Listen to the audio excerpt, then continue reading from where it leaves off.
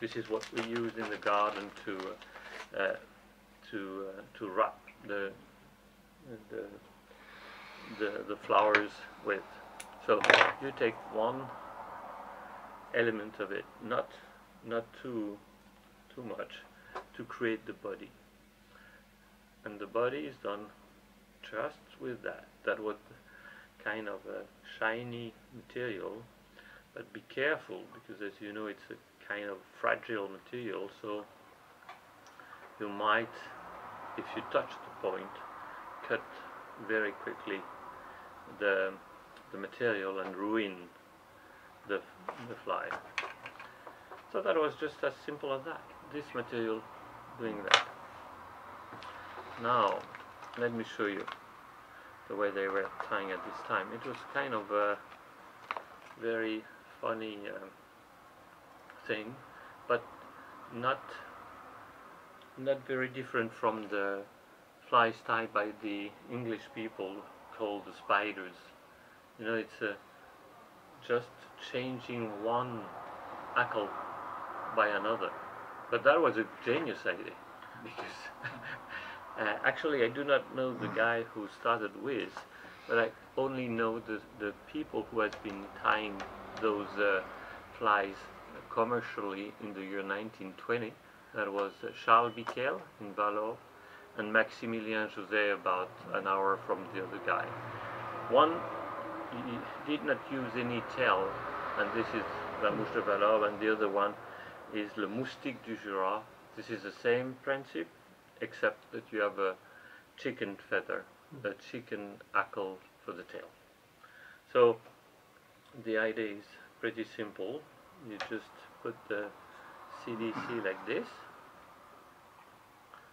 and then take that out and you use your hackle plier and then you will uh, wrap around pretty much like a chicken hackle.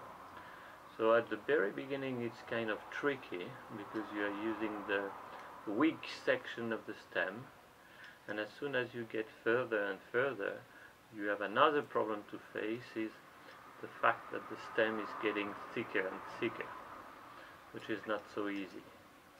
When you reach about four or five turns, which is nearly the maximum that you can do, you go like this, you hmm. cut it like this, and then you use your whip finisher, push everything backwards, create the, the head like this, and uh, as you probably see here, we, we have a, a, a, strange mix of long fibers and short fibers. Uh, maybe I show you that like this. You can see here. And this is due to the natural shape of the feather if you take a CDC, you will you will see that you have uh, fibers which are long and short, long and short, long and short. So you say, hey, Marc is using bad CDC. no, the big difference between a chicken and a CDC is that the chicken is collecting the oil from this area and using the beak, he, he intend to ruin the, the, the, the feathers a little bit and they are not all the barb even. So this is the, the problem with it. Okay? Mm.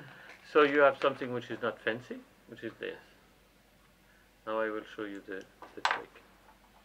To get that everything nicely round, all around, you have two ways. Whether you are good, actually very good, and you start to go like this, to make a cylindrical apple. You have to be good, I can tell you.